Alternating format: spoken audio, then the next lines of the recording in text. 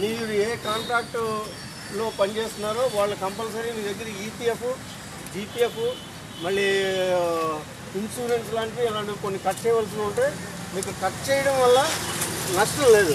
దానివల్ల మనకి పది రూపాయలు కట్ చేస్తే గవర్నమెంట్ కూడా దానికి పది రూపాయలు వెయ్యాలి అందుకనే మీ దగ్గర కట్ చేయడం మానేస్తుంది ఏంటంటే మళ్ళీ ఇంకో అదనంగా మళ్ళీ పది రూపాయలు ఈ ప్రభుత్వం మనకి ఇవ్వాల్సి వస్తుందని కట్ చేయట్లేదు. దానివల్ల మనకి నష్టం అది కూడా మీరు అందరూ కలిసి ఒక రిప్రజెంటేషన్ రాసిస్తే మేము సూపరింటెండెంట్ గారిని అడిగాం ఏంటంటే కాంట్రాక్ట్లో కానీ అవుట్ సోర్సింగ్ కానీ వాళ్ళ కాంట్రాక్ట్లో ఉంటుంది. ఎందుకంటే ఈపీఎఫ్ మేము కట్ చేసి ఈపీఎఫ్ కమిషనర్కి మేము పంపుతామని అందులో వాళ్ళు తీసుకుంటారు. వాళ్ళు దీనికి ఫైవ్ పర్సెంట్ ఎంతో గవర్నమెంట్ ఈ సం- ఏ కాంట్రాక్ట్ సంస్థ అయితే నడుస్తుందో అది నడుపుతున్నందుకు వాళ్ళకి ఖర్చుల కింద ఫైవ్ పర్సెంట్ ఇస్తుంది. అది గవర్నమెంట్ ఇస్తుంది కానీ మీ దగ్గర మాత్రం వాళ్ళు ఎడిషనల్గా కట్ చేయడానికి వీల్లేదు.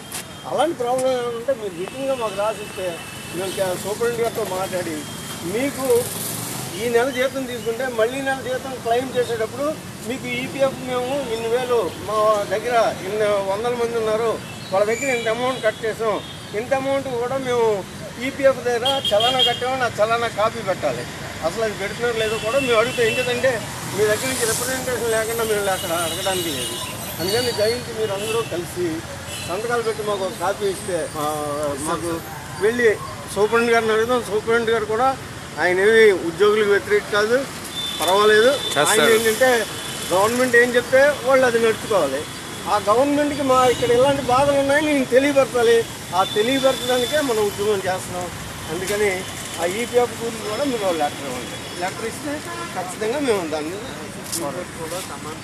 అదే చెప్తాను సమాన పనికి సమాన వేతనం ఇమ్మన్నారు. నలభై వేలు పర్మనెంట్ ఉద్యోగం ఇస్తున్నప్పుడు ఇక్కడ మీకు తొమ్మిది వేలు పదివేలు ఇవ్వడం అనేది చాలా అన్యాయం.